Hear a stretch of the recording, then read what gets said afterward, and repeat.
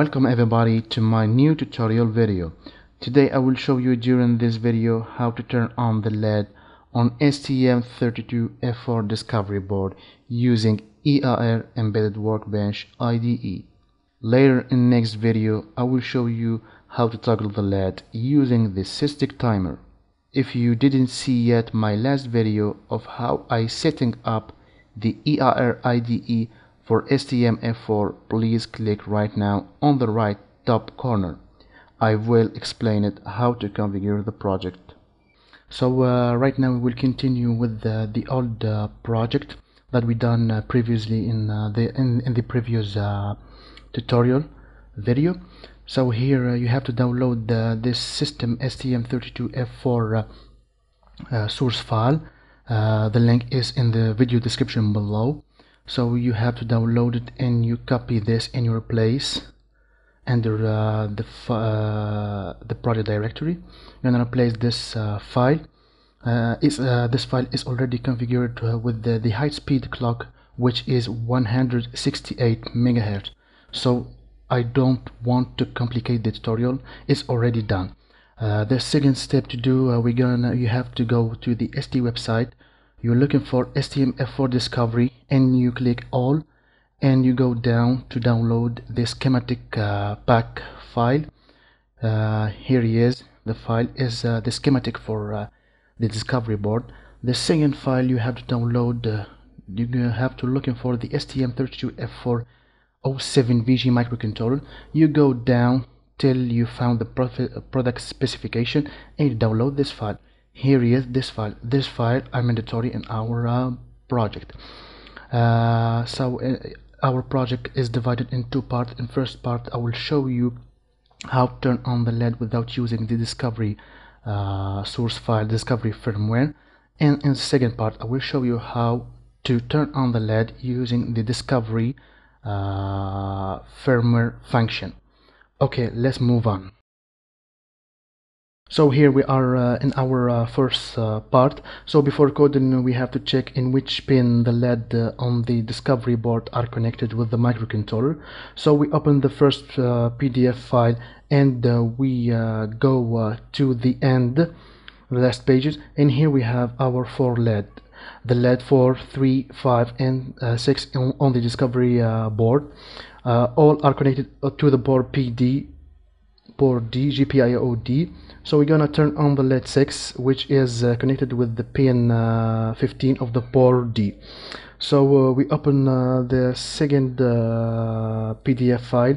So here in the device overview page 18 so here we notice uh, that every peripheral here is connected to a specified clock uh, so for example, the timer 9, timer 10, timer 11, USART1, USART6 is connected to the APB2 which frequency, uh, max frequency can reach 84 megahertz. The uh, timer 2, timer 3, timer 4, 5 and the I2C watchdog is connected to the APB1 uh, with the frequency, uh, maximum frequency can reach 42 megahertz and last the GPIO port A 2i uh, is uh, connected to the AHB1 which uh, the maximum frequency is at 168 megahertz. So before using every peripheral we have to uh, enable uh, his clock. So we go back to our uh, IDE here so uh, to turn on uh, the AHB1 for uh, this uh, for the port D so we have to add uh, to go to uh, microcontroller um, driver. Right click on it. Again we on add the RCC source file. Right click edit file. Go to the desktop go to the driver here.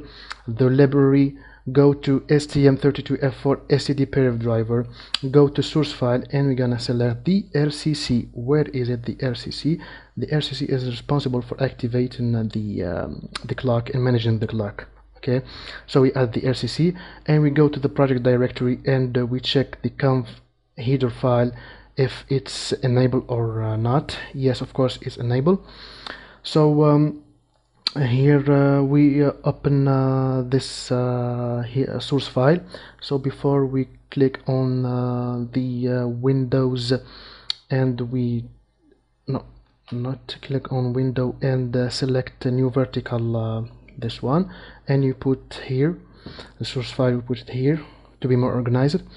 And uh, we uh, come um, here uh, the source file we have all the function of the RCC of the clock and everything. So uh, you have uh, you can uh, click on this icon and here we have all the function.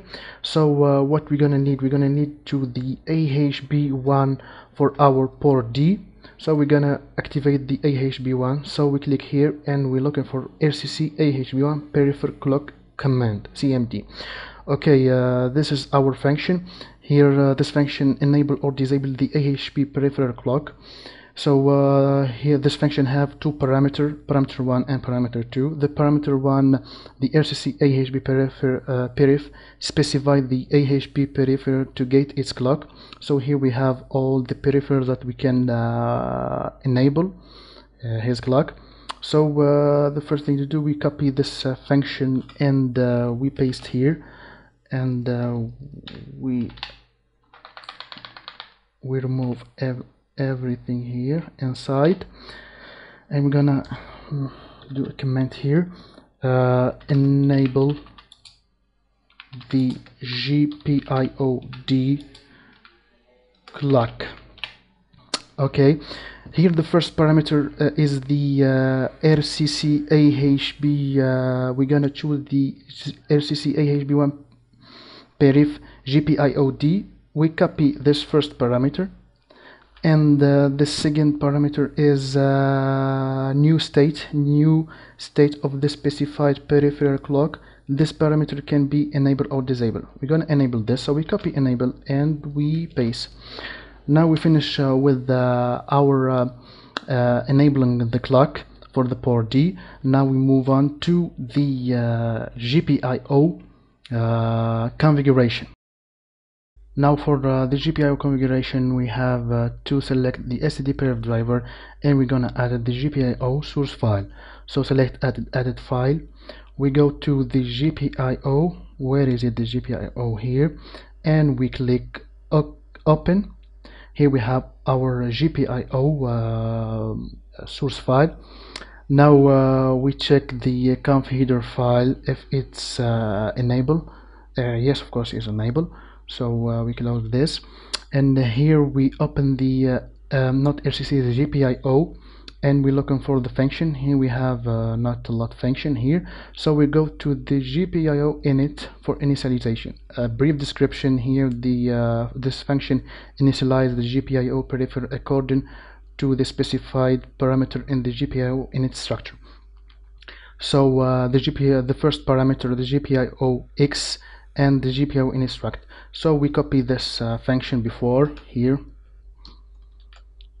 And we remove this. And we write here GPIO D configuration.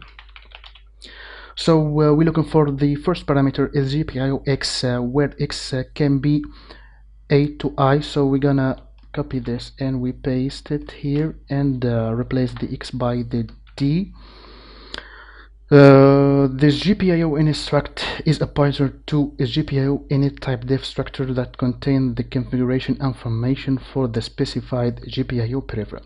So it's a new thing uh, for us. It's a structure.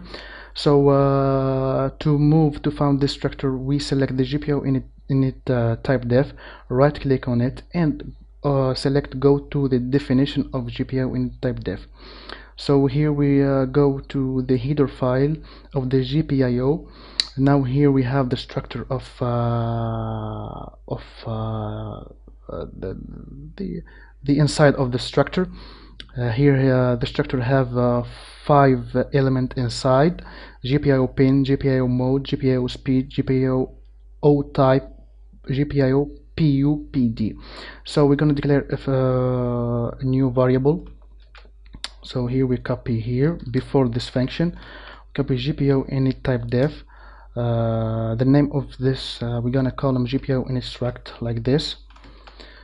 And uh, we're gonna insert uh, all the element inside of inside this tractor so we copy this and we paste and we're gonna add the first one the GPIO pin we select the GPIO pin and mm, here this parameter can be any value of reference GPIO pin define. So we're gonna find this define.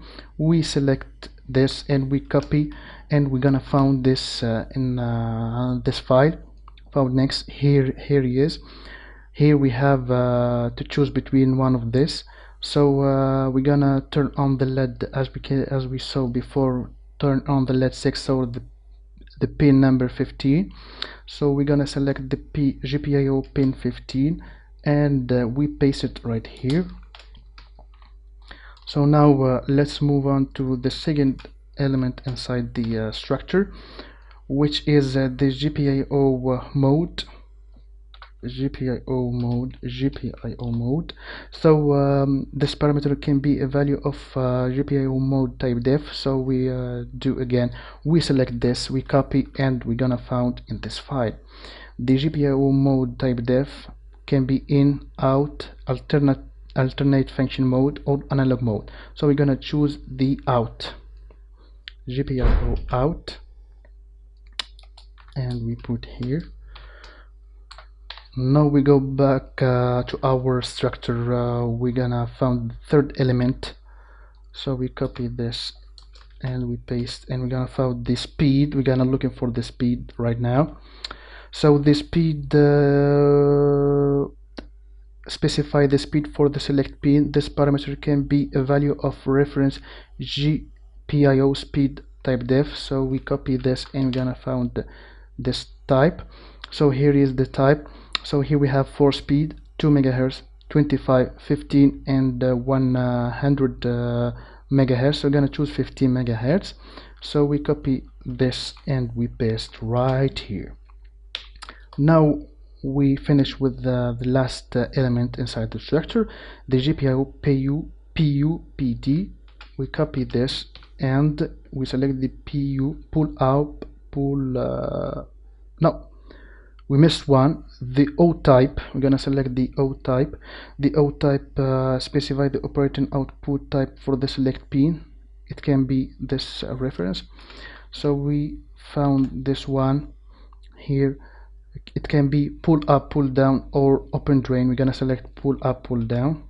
Uh, push pull. Uh, I'm sorry push pull. Normally push pull. We select this. And we go for the last one the GPIO pull up pull down we select this and we do the same operation. Pull up pull down. We select the GPIO pull up pull down and we found this in this file.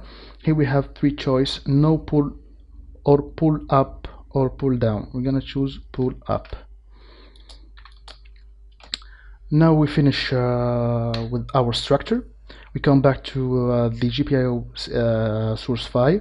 So we're gonna add the second one GPIO instruct so we copy uh, the GPIO instruct and we paste here. But uh, be careful. Uh, here in the description uh, of the parameter number two here they write a pointer to GPIO any type def you have to be, uh, careful because he say a pointer. So we're gonna add the, the end to uh, I'm sorry this end to specify the address of our of our uh, of the GPIO instruct. So last thing to do we uh, gonna turn on the LED we configure with our configuration is uh, over. We turn on the LED so we go the GPIO source file and select this function. And we go directly to set bit. Here uh, this brief description set the selected data per bit. This function use GPIO we don't care about this. We don't care only by, by the parameter. So we copy this function and we paste it here. Here we're gonna write GPIO D pin 15 on. Okay. So now the first parameter can uh, be GPIO X. So we're gonna copy this and we paste the first parameter here. We're gonna select the port D and the second uh, parameter uh, is uh, the GPIO pin. This parameter can be any combination of the GPIO X where X can be 0 from 15 okay we delete this and we paste here. We're gonna select the 15 of our LED 6 PD 15 here. Uh, and now we finish. We try to compile uh, uh, this rebuild all. I hope you don't have uh, any problem. That's okay. So uh, we have no error no warning. So uh, we download in our uh, STM32F4 and here the LED uh, the uh, the blue LED is on. So we can uh, we can um, change the uh, LED uh, for example we choose the LED uh, the P the LED 5 PD14 it's quite simple. We go here change 14 and here change 14 and we uh, download again.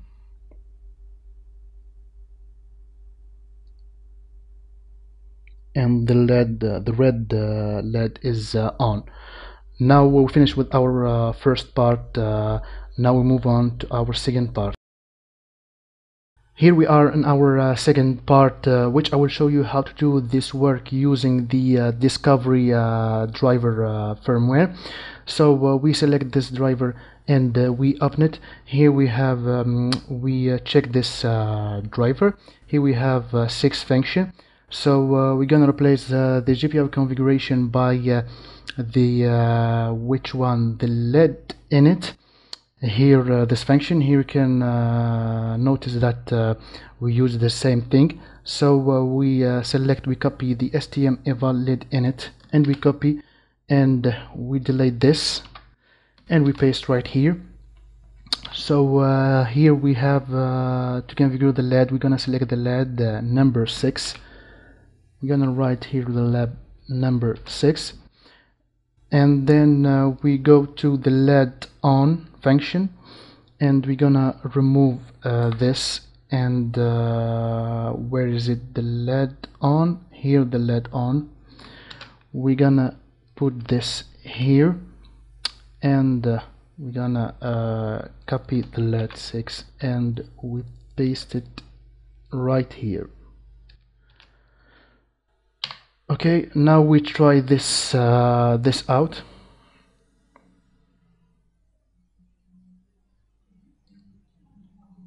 It worked fine. We noticed that uh, the discovery um, the discovery source file simplify uh, the work a little bit. So that's all for my tutorial. If you enjoy watching my video and find it interesting please click on the like button and subscribe. And don't forget to check my website you can watch my next video uh, of toggling LED uh, by clicking on the right top corner and uh, if you want to see how to hack my HD brushes motor please click on the left top corner. See you next time. Bye bye.